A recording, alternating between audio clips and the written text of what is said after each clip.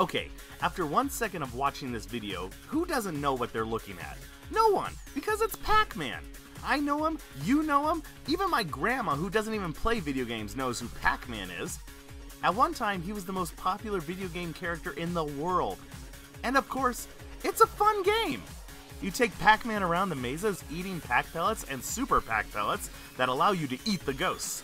So since we all know about this game, how about I lay some Pac-Man fun facts on you? Pac-Man's original name was Puckman. Early on in Japan, a lot of the arcade cabinets said Puckman on them. But when it was ported to America, it was changed to Pac-Man for fear that people would vandalize the machines, changing the P to an F. And the sad part is is that you know, you know that that would have been the case. Pac-Man was created because there were too many violent video games on the market in the late 70s. These were the space shooters where one thing would blow up another thing. Not many games the whole family could play were available, so Pac-Man was created as a game that everyone, regardless of age and gender, would enjoy. Hanna-Barbera created a Pac-Man cartoon that ran for 44 episodes in 1982 and 1983.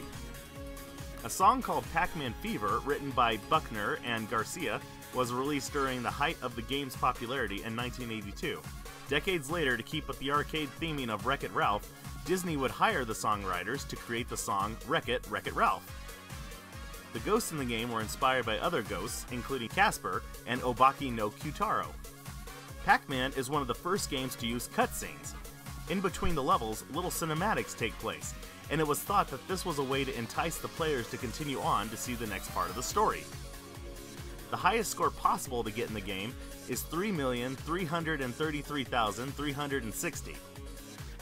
Pac-Man makes a cameo in the original Tron movie. There is an infamous kill screen when you make it to the 256th level, where the game bugs out.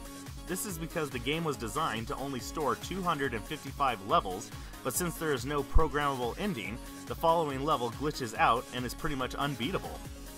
Unless you memorize the patterns, I guess. Pac-Man has been a serious staple of video games for almost a full four decades, and even now, though he isn't as popular as he was back then, he still has a vast fan base of people, like myself, who will continue to play this arcade classic for years to come.